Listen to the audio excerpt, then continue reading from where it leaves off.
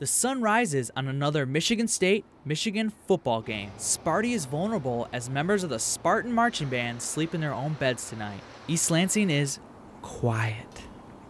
A Michigan Wolverine, it's great to be a Michigan Wolverine. In Ann Arbor, fans are ready for another game between these two in-state rivals. What makes this rivalry a big deal?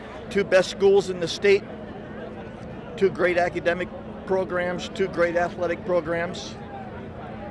What more could you ask for? Let's go blue, let's go blue, beat MSU. There's no really like in between. Like you're distinctly like one or the other. It's not like well I don't really care who's wins. It's it's state or U of M.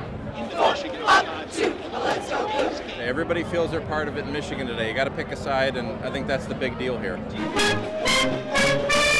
Fans are not shy to show their colors. My middle name is Michael, so uh, I wanted to put my initials on the car. So this is what you got. This is my third one in a row like this. They've all been dark blue explorers. Families split by the rivalry enjoyed a tailgate together. have one grandson goes to state, and I got one grandson that goes to Michigan.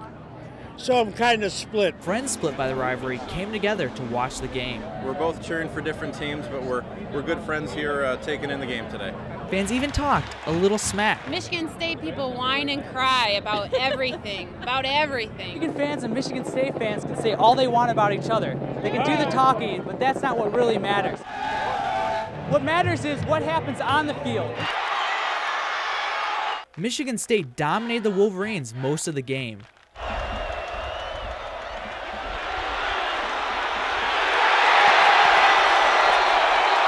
With the sun setting on this game, the Wolverines plan on regrouping and meeting the Spartans in East Lansing next year.